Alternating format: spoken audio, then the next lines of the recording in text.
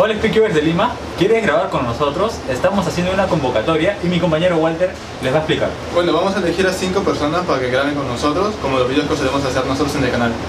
Y los requisitos están en la caja de la descripción. Nos vemos.